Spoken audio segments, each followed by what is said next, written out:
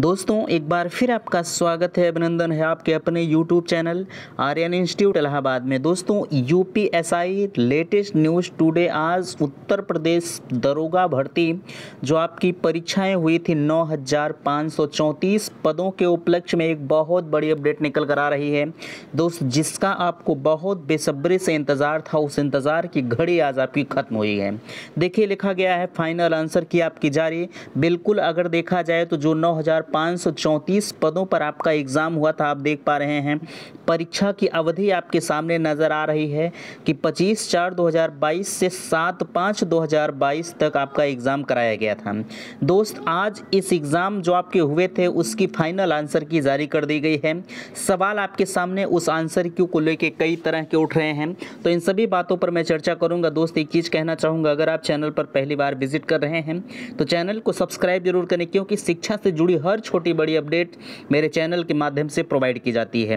बेहतरीन तरीके से आपके सामने नज़र आ रहा है। मैंने सभी प्रश्नों को यहाँ डिनोट किया है और यहाँ देख पा रहे हैं फाइनल आंसर की जा रही है एक चीज़ आप जानते हैं कि कई प्रश्नों पर लोग आपत्तियाँ दर्ज किए थे। अगर देखा जाए तो लगभग 101 प्रश्नों पर आपत्तियाँ दर्ज की गई थी।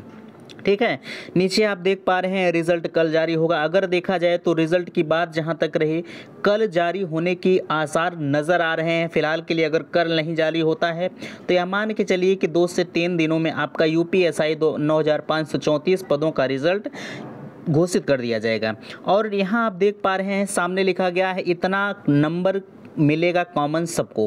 बिल्कुल अगर देखा जाए तो जब इतने प्रश्नों पर आपत्तियाँ लोग दर्ज कराए हैं 101 प्रश्नों पर जब आपत्तियाँ दर्ज हुई हैं तो कॉमन नंबर मिलना स्वाभाविक है। इन सभी बातों पर मैं चर्चा करूँगा और नीचे यहाँ देख पा रहे हैं कितने प्रश्नों के उत्तर में किया गया संशोधन। यह आपको बहुत ज़्यादा कॉमेंट आया कि सर जो यूपीएसआई का, जो संशोधित आंसर की जारी हुई है, उसमें कितने प्रश्नों पर उत्तरों का संशोधन किया गया है? तो मैं आपको बताना चाहूँगा कि उनसठ प्रश्नों पर जो आपका संशोधन है, संशोधित आंसर की जो आपकी जारी हुई हुई है। टोटल उनसठ प्रश्नों के ऑप्शन चेंज किए गए हैं। मैं आपसे निवेदन करूँगा कि अगर आपने आंसर की को नहीं मिलाया है तो बिल्कुल आप आंसर की को मिलाइए, क्योंकि जब उनसठ प्रश्नों पर ऑप्शन को चेंज किया गया है तो ज़ाहिर सी बात है कि कुछ न कुछ आपके नंबरों में इधर का उधर हो सकता है।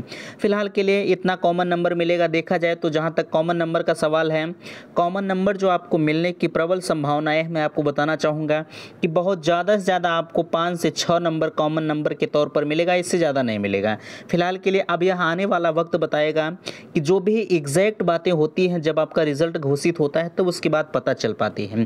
फ़िलहाल के लिए जो मैंने पाँच से छः नंबर का अनुमान लगाया, यह सिर्फ़ अनुमान के तौर पर हो सकता है। ठीक और रही बात रिज़ल्ट की तो रिज़ल्ट आपके कल परसों में जारी होने की प्रबल संभावनाएँ हैं। नहीं तो दो से तीन दिनों में आपके रिज़ल्ट जो है, वो जारी कर दिए जाएँगे। ठीक है, आशा करते हैं दी गई जानकारी से आप संतुष्ट होंगे। वीडियो पसंद आया होगा तो चैनल को सब्सक्राइब कीजिएगा और अपने दोस्तों में शेयर कीजिएगा। वीडियो समाप्त करते हैं। थैंक्स धन्यवाद।